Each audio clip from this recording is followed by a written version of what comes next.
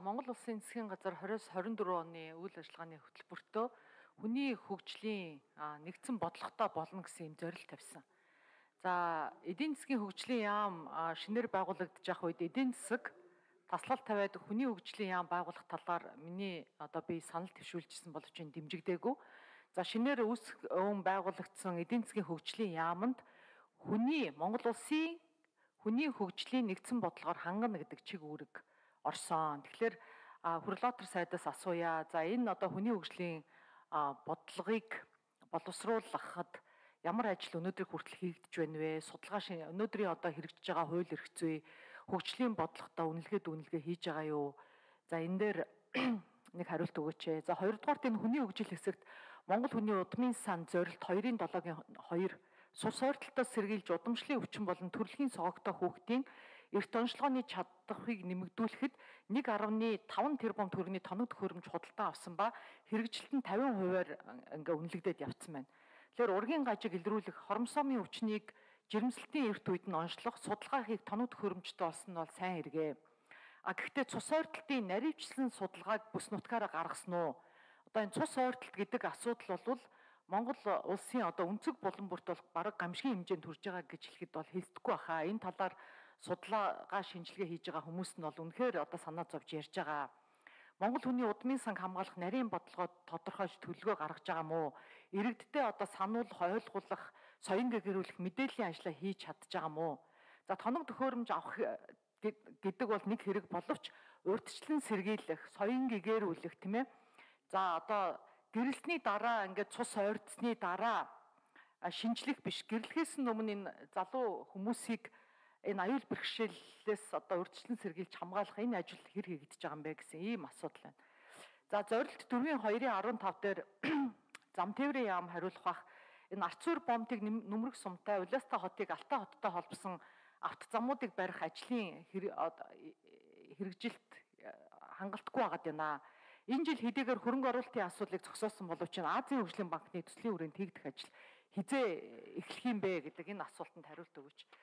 За боловсрол шинжилгээ ухааны яамнаас энэ дөрөв 20 20-с 24 оны үйл ажиллагааны хөтөлбөрт бүх одоо цэцэрлэг сургуулийг дуу хөгжмийн хичээл, биеийн тамирын хичээлийн хэрэгслэр бүрэн хангана гэдэг зорилт тавигдсан.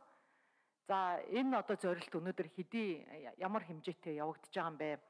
За эрүүл мэндийн яамнаас асуулт байна.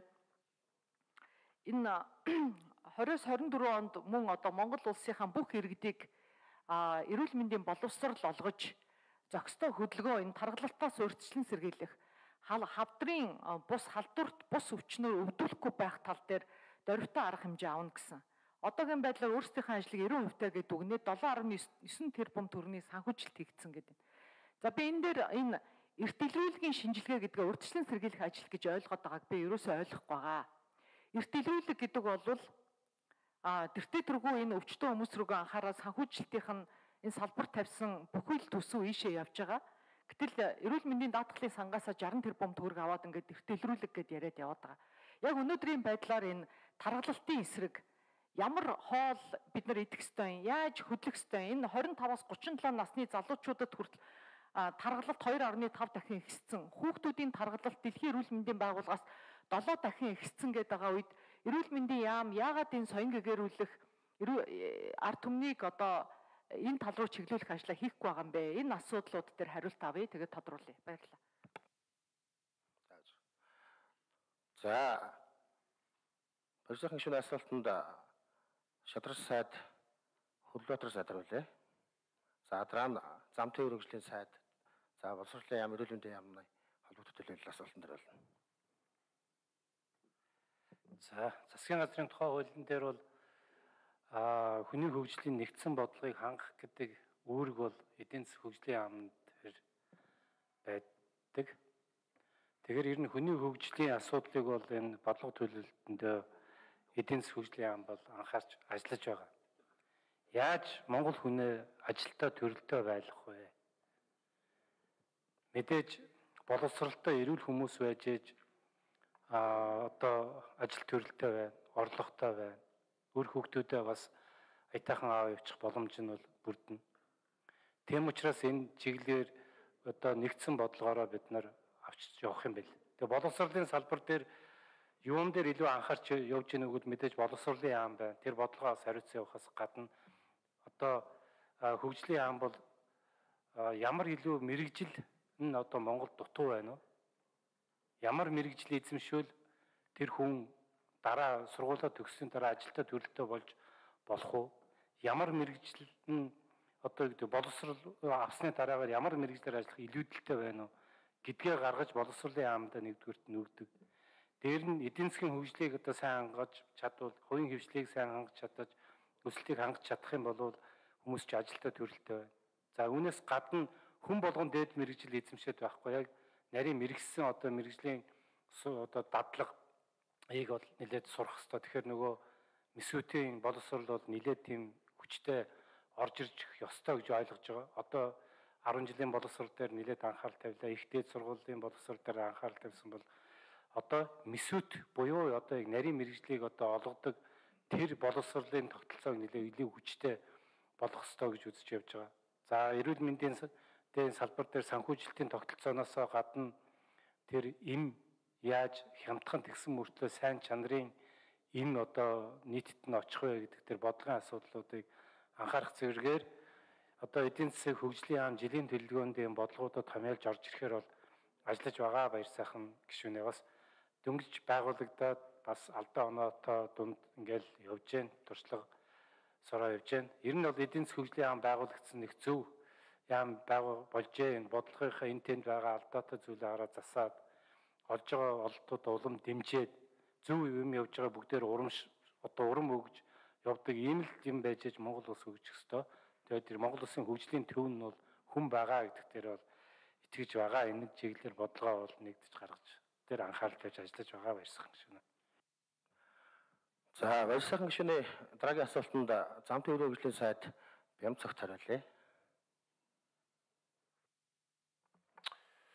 За тэр Алтаа Улаастаа чиглэлийн зам, Ховд Улаангом чиглэлийн зам Азийн хөгжлийн банкны хөнгөлөлтөө зээлээр барих гэж байгаа. Ерөнхийдөө одоо сангийн ам дээр үндсэндээ бол бичиг баримт хүлээгдэж байгаа. Сангийн ам одоо Азийн хөгжлийн банктай санамжлыг байгуулсан юм байна лээ. Тунгахдахгүй улсын их хурлаар одоо оруулах ёстой. Ийм арчих юм бол одоо энэ жилдээ багтаагаад бидний ажлаа эхлүүлэхэд бол хийчнэ.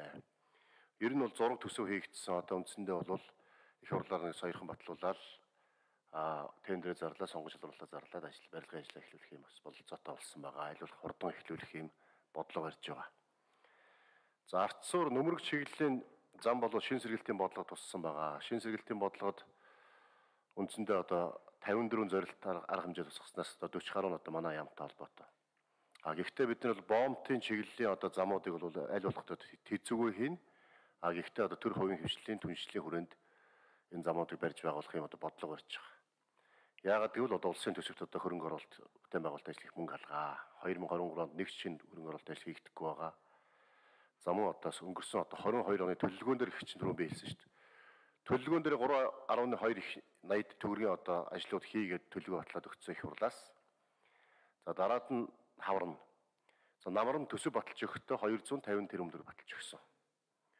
А тэгээ төлөвлөгөөн дээр 3.2 их найд ажил хийгчээд хийх санхүүжилтийн их үүс нь 250 тэрбум буюу 10 гаруй дахин бага байхаар чинь нөө төлөлгөөний гүйцэтгэл төлөлгөөний биелэл чинь одоо маш бага гарч байгаа. Тийм болохоор одоо төр хувийн хөвшлийн түншлэлийн хүрээнд боомтууд чиглэсэн замууд одоо тэр нөмөргөөс дарцуурал боом чиглэсэн зам байгаа.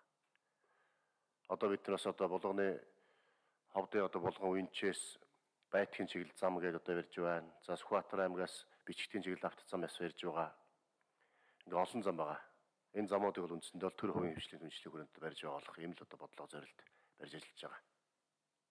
А техник эдийн засгийн үндэслэлийг бол хийхээр одоо энэ жилдээ хийх ажил ажиллаж байна. За, баяр сайхан гишүүний 3 дахь асуултанд боловсрол шинжилгээ ухааны яамны төрийн нэрийн бичгийн дарга лавгийн сэтгүүлсэрэн хариулъя. За, нэг номерын микрофон. Баяр сайхан гишүүний асуултанд хариулъя. Засгийн газрын үйл ажиллагааны хөтөлбөрт сургуулийн өмнөх боловсрол, энэхүү боловсролын сургуулийн урлаг, биеийн тамирын хичээлийн агуулга хөтөлбөрийг сайжруулж, түүндээ нийцүүлсэн шаардлагатай техник тоног төхөөрөмжөд хангана гэсэн юм үйл ажиллагаа тусгацсан. За 2014 онд цэцэрлэг ерөнхий боловс сурлын сургуулийн сургалтын агуулга хөтөлбөр шинжлэгдэж батлагдсан 14, 15, 16 онд ингээд дараалаад за циклийн хувьд бол 2024 оноос эхлээд бид нэр энэ сургалтын агуулга хөтөлбөрийг бас шинжлэх ёстой. За үүний бэлтгэл ажил болгож боловсролын судалгааны үндэсний хүрээлэн дээр олон төрлийн судалгааны ажлууд бол хийгдээд сургалтын хөтөлбөр агуулгын шинжил одоо эхэлж байна.